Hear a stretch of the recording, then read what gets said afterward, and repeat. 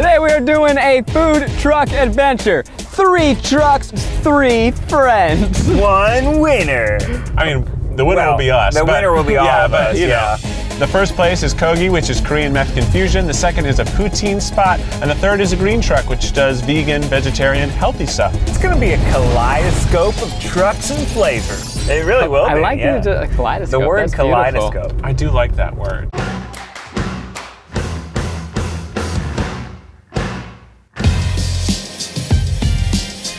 During COVID, one of the few things that we can still do as people to feel normal is eat. The three of us are getting tested regularly. We're in a quarantine bubble together. However, when we're out in the world, we will be masked and or a safe six feet apart from everyone we're talking to. I'm Yeah. stoked for today, guys. Yeah. What, what are you uh, expecting? Number one, I'm looking for what does the truck look like? Does it catch my eye? Does it invite me in? Number two, what's the flavor factor? Number three, how much? Are you guys like me though, where the nicer and shinier a truck is, the less I trust it?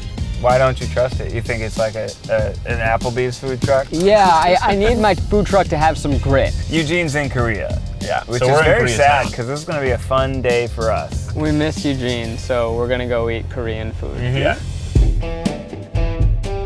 We're here at Kogi, my favorite food truck in all of Los Angeles. No joke, there was a point in my life where I ate here once a week. Today we're to get to talk to the owner, none other than our friend, Roy Choi. He doesn't like me, so let's see how it goes. Only your dad or a dog would consider it a birthday cake. Now you think that he likes you less than me? yes. Now, and you think he's gonna remember like, oh, because I, I don't know. He left the table. I made a bowl of cereal without a recipe. He did really hate yours. Yeah. Roy, how's it going? Hey, good to see you guys again. Welcome to my hometown. We are stoked to be here. What are we gonna be eating today? The soul of Kogi is the LA street taco. So small, uh, kind of four and a half inch tortilla. And then if you think of carne asada or al pastor. I do all the time. Yeah, and if you think of chorizo tacos or buche tacos, uh, that's the construction of the taco. But then the flavor is like Korean barbecue all in one bite. So it's the whole meal. The short rib taco, that's our signature taco. It's two small tortillas griddled with uh, marinated short rib, so soy sauce, ginger, kiwi, garlic, green onions, all that stuff pureed into a marinade, grilled, chopped, recooked again, so we call it double caramelization. I hope it's not weird for you as you talk. I'm like licking my lips know. and just staring at yeah. you going, "Mm, No, I'm used to it. okay. Yeah. It's usually what all I see from that window. I believe it. Then we make a salsa roja that includes dried chilies and Korean chili paste and different fruits like oranges and apples and all that stuff and lots of vinegars. And then we pour that over the top. We make a cilantro onion relish with lime and salt. And then we make a salad, uh, like a shaved green onion, cabbage that we toss in a chili powder vinaigrette. From there, we can change out the short rib for chicken. So we do a soy marinade chicken, almost like a kind of a light teriyaki style, but it's spicy. Um, and then we do a spicy pork, which is even spicier, but that has a lot of chilies and jalapenos and chili paste. And then we do a tofu, which is marinated in um, a different type of like marinade, but it's served with a green salsa. Which one do you want to start with? I think we got to start with the short rib, right? 27 ingredients here. Cheers. Cheers.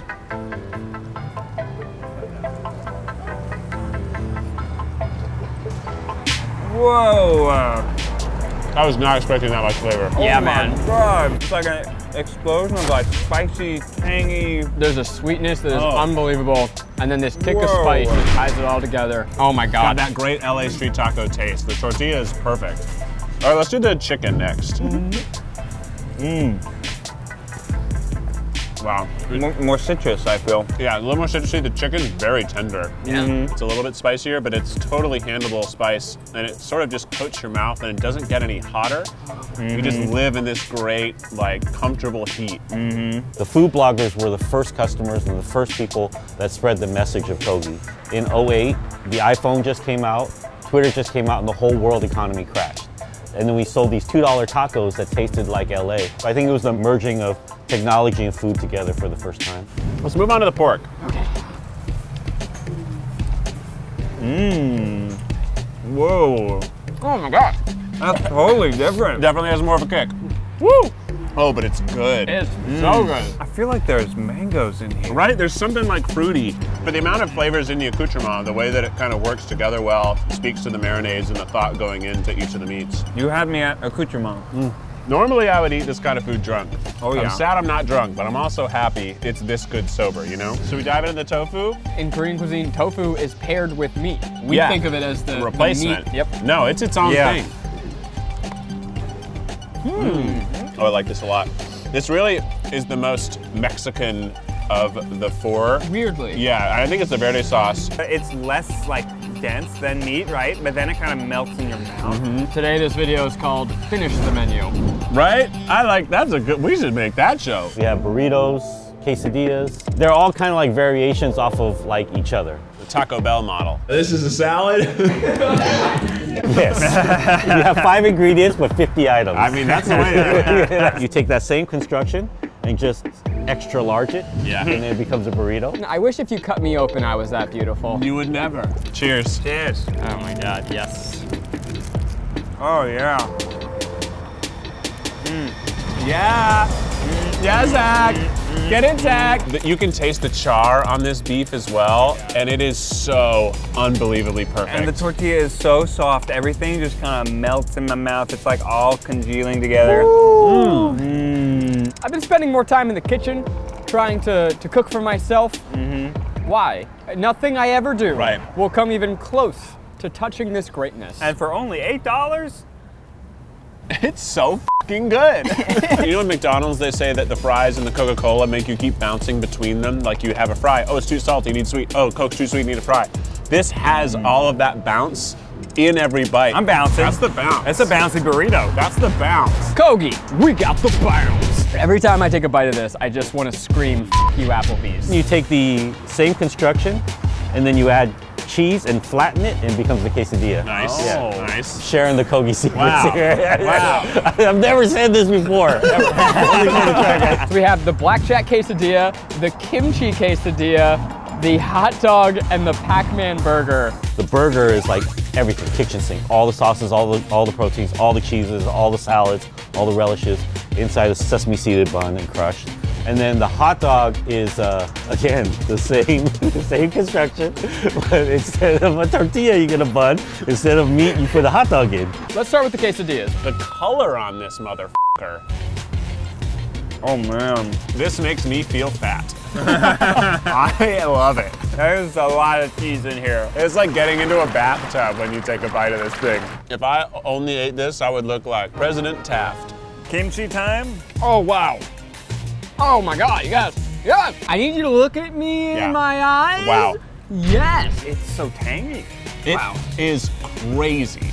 And still that cheese makes it luxurious. It's Yeah. phenomenal. The whole purpose of the Kogi truck is to make sure that everyone is fed. And that's why we still stand here stronger than ever because of our connection and community, especially now uh, after COVID hit and our community and our fans just rallied around us. So we as Americans are groomed or were raised to believe that food is somewhat legitimate when it's inside a brick and mortar. Um, Applebee's, for example. Applebee's, for example, which is the complete antithesis to normal. You know, this is normal. Yeah. This should be the world, and then that is the complete fabrication and creation of some other world.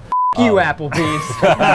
That's It's true. by sponsorship. If they haven't by now. yeah, yeah, yeah. If you haven't had it by now, f- 'em. Street dogs are a really big part of LA's LA, late night true. food culture is the bacon true. wrapped hot dog. So mm-hmm. this is just honoring that. But it's a beefy boy. Look it's at a this. thick thick. dog. Bigger than me. Chicago, 100% Vienna beef. I tell you, you know, I don't love the LA classic bacon wrapped street dog. No. Mm-hmm. If this was the LA hot dog though, I would be getting this on street corners all the time. All right, let's have the burger. Are you seeing this? Are you seeing this? Are you seeing this? You seeing this? Keep going. One more. Are you seeing? Oh, f- wow. This does have a burger taste, even though it's not a burger. How they do oh that? Oh my god. The hot dog I wasn't really into, but this is way better than any burger I've ever had. Low income, high income, doesn't matter where you come from. This food is incredible and it's special. But we got two other spots to hit up. Now we're on to the next place, which is the Poutine Brothers truck. It's French fries with cheese curds and brown gravy. Toot toot, all aboard the gravy train. Oh, nice one. My name is Chris, My name is Matt. and we are the Poutine Brothers. We're gonna serve up some delicious national dish of Canada, poutine. How long have you guys been around and why a truck? We've been around, let's see, two years. We did have a corporate background and jobs previously, and this is something that we wanted to try to get away from the desk job. When do people eat poutine? Is it ever sober? We try to encourage the sober eating, but to be honest, majority of people in Canada use it as a uh, late night beer soaker upper, I'll call it. Just to give you a little quick run through our menu, uh, we got the classic, which is usually the home run for every Canadian. They don't really like to stray away from that. Some people think we overcook our fries, but we do like them extra golden brown because as soon as that cheese, gravy, and whatever protein you got on there hitting it, it's gonna soften the fries quickly. Um, our more popular vegan option is the Parmesan cauliflower. Uh, that's just gonna be a homemade vegan gravy, also gluten-free. We have vegan cheese on there, and then the cauliflower is grilled on the flat top and then seasoned with nutritional yeast. We have a trio of spices on top of that one as well. We got a vegan Parmesan oh, cauliflower. my God. We got a classic poutine, and we're gonna start you. you. off in the middle with the ketchup chips. Our Oh, homemade ketchup oh, chips. Oh, wow. Oh, shoot. Look at this. this is a like a perfect Thanks, huge guys. chip. Let me take this mask off. All right, let's do it. Let's it. do it. Ooh.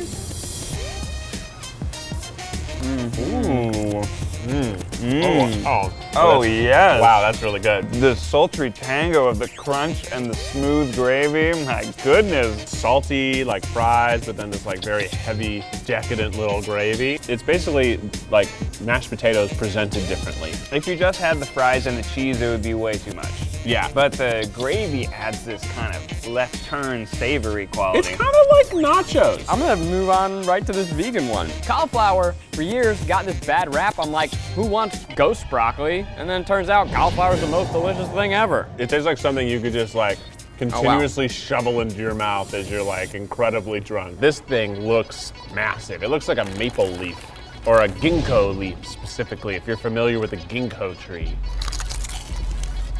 Whoa. Ooh, you know what we gotta do now? Put it in the gravy. Potatoes on potato. Mm. We got the bacon poutine. Fried cheese curds. And this is an off the menu vegan special. All right, here goes the bacon. Wow, that's a bite. That is a bite, Ned. Mmm. I think that just put hair on my chest. All right, so this is the vegan special they're serving right now. We're not sure what the protein is, but you know, when you're drunk, you wouldn't care. You wouldn't care. I think this is seitan. Seitan? Seitan. Seitan. I do love that. However, a mouthful of bacon Yeah. at a time like this, you know, in COVID, how often do you get a mouthful Just of a minced big old mouthful of bacon. I mean, shit. Let's go ahead and try the fried cheese curds. how are cheese curds different from cheese? So it's a very young part of the cheese, um, and Soft. especially in the process, and it's very soft. So early stages of the cheese making process. Young Cheese is a great rapper name. I'm- Young cheese. Oh, wow. Might take a Oh, lap. they're or something. hot. I'm telling you, I'm pretty positive this is Satan. It's like a chicken nugget, but then Mm-hmm. cheese inside. Did you guys know that Satan is a, a, a wheat product? Uh-huh. How about that? Yeah. Yeah. Yeah. Can we stop saying Satan? Here is the braised beef short. Wow. Move over, bacon. Food heads tend to gravitate towards our short rib. Um, that's also a braised meat. It has a ton of different ingredients in there. Um, some secrets that we don't always like to share. So I'm curious if you guys can pick those out when you're trying it. I love secrets. Very savory, melt in your mouth. That's probably our biggest home run. Oh my god. Oh, me up! That is Whoa. short rib that easily can mm. sit at a table with Kogi short rib. You've struck out at the bar, you know, you asked for numbers, they didn't give it to you. You tried to flirt, didn't work. But Looking you know what? for a friend, and you found it. This is probably better than any drunk sex I've had. you could feed two people with this. How much does this cost?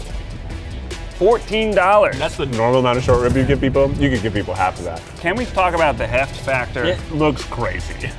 I'm I'm building my buys. Oh my God, look at that. Woo! Just doing this. That is the best short rib I've had in LA. I've lived here for about six years and that did it. The chicken tikka masala, it's very unique with the flavors and textures going on with that one. It's a little more, I would say, creative and out of the box. You guys want to try this tikka masala? Let's go for it. Mmm. Mmm. And Also excellent. We've been having the drunk food. This is the mm-hmm. stoner food. Mm-hmm. You enter the cosmos with this one. We are very, very full, obviously, after all we've eaten so far, but we have one more stop. We're mm. going to the green truck, which I'm, for once, excited to have some healthy food because I think we need it. That was good. Eat the menu is one thing, but I don't have to, like, move. The food is sort of shoveled into me. All the trucks come to us. I'm Mitchell Collier, one of the co-founders of Green Truck. It's been around since 2006. And actually right where we sit, this is Sony Animation right here behind us. So you, right. you fed the, the crew of Spider-Verse. You, you made We that probably movie. You basically made that movie. Pretty much. That's awesome. Before I started Green Truck, I was in the acting modeling world. Everywhere I went, you couldn't really eat that healthy. You've been on sets before, M&M's, Coca-Cola. I wanted to change that and bring local organic food to the set. Cool. I love Applebee's. Yeah. right? Applebee's. What are we going to be eating today? Today, we can eat the whole menu from Green Truck. We want to focus on local and organic. You're up, Keith. And know, right? we have grass-fed. We got grass-fed beef. We got free-range chicken. We have superfood salads, kale yeah salads. We have Kale yeah. kale yeah. You got it. And mother trucking right, it's organic. You're gonna have a burger today that'll hold up to any fried chicken or any uh, comfort Those food. big words Whoa. right there to me. I'm, I'm a big fried chicken boy. That's Whoa. It's all veggies. So it's mushrooms, kale, beets, onions, garlic, basil, and oat flour is the binding unit. So it's literally all veggies. The flavor is incredible. It doesn't taste like a bunch of vegetables, doesn't taste like meat, but it tastes just really delicious. Like I'm most open about complaining if something vegan doesn't taste great. I believe you used to have the, the motto salads. Yeah, I've refined from that. You know, I'm a, I'm a reformed salad fucker. but here's the thing, when it tastes like this, it's all good. So I know that you actually have a lot of food trucks now under your brand. How has your business shifted during COVID to sort of accommodate how things are changing? We made a meal plan, a subscription plan. It's $200 a month, unlimited. It averages out to $7 a day. And instead of focusing on people in their offices, we're focusing on people that live here in the neighborhood. And also first responders, policemen, firemen, and teachers. They all get half price and I'm reaching out to the whole community. So for seven dollars a day, I could come here for breakfast, lunch, and dinner. Yes, sir. And Zach's girlfriend could get 350. Yes. That's pretty good.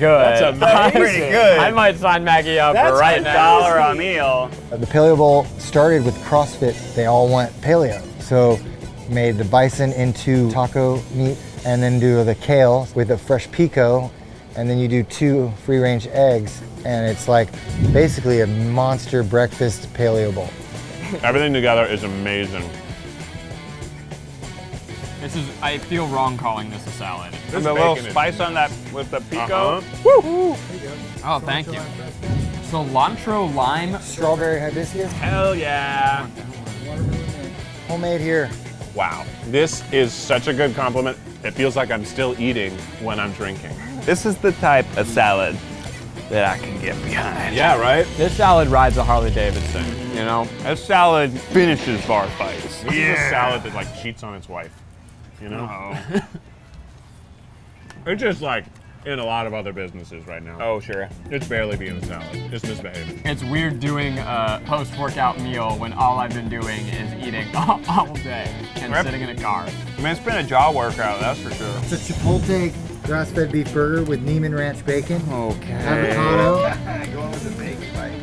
Oh, you gotta. This is giving you everything you want out of a burger, but all the ingredients are fresher. They're sourced locally. The bacon is amazing. Like the quality here is great. tomato, though. I know. I mm-hmm. love it. I'm gonna pass that down to my family. My God. I was about to make the same stupid joke. We have the kale yeah, which is our salad, which is beets, carrots, mushrooms, kale, spring greens, quinoa, and a goddess dressing. We've been indulging all day, but this is what I would most like to eat eight times out of 10. Hmm. A little sweetness hmm. coming through in there as well. I think that might be the beets. And you get the mm-hmm. funky earthiness from the mm-hmm. mushroom, mm-hmm. from the beets. The only way you can make this good is if the vegetables themselves are of high quality. And this is delicious and it just speaks to everything they're using in the kitchen. And also like the fact that you can get this from a food truck, it just really Right. changes your perspective of what you could get. Right, you feel like the farmer's market's coming to you. Uh, food affects your mood. Like there's so much more than just getting you the energy to like move throughout your day. It's it's gonna change your mood. It's gonna change how you view things that come on your plate. It's gonna change your work ethic. It's gonna change how well you can work. Yeah. Like food for your brain. Yeah, I think that food trucks really can be that next revolution in more places that can provide healthy, cheap, delicious stuff to those people who can't get it anywhere else. Uh, what a day.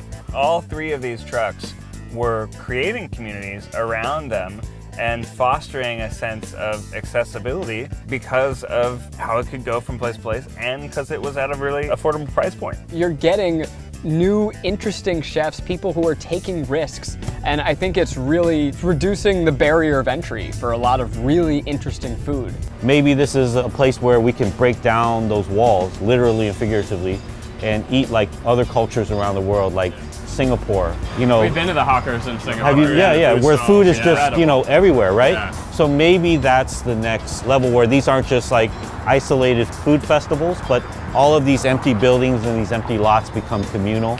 I just see a lot more opportunity to get more unique and takeout is going to be up leveled into a new capacity that we kind of haven't seen before. Now the food trucks do have a reputation of having a lot of fun food and it is awesome. If you want to make change, it's where you spend your money on your food. I hope maybe you've been inspired. If you're a chef out there thinking like, I want to get into the restaurant industry and I just don't know my way in, maybe a food truck is the right way to go. This is super fun. What other types of food would you like to see us tour and sample for you guys? Let us know. Also subscribe. Check out the merch. Check out our Patreon. Thanks for supporting us during these COVID times. And as well. follow Zach on Instagram. follow Zach on Instagram. Vote with your dollar at tryguys.com. And follow us on TikTok if it still exists. Yeah, We don't know. we don't know.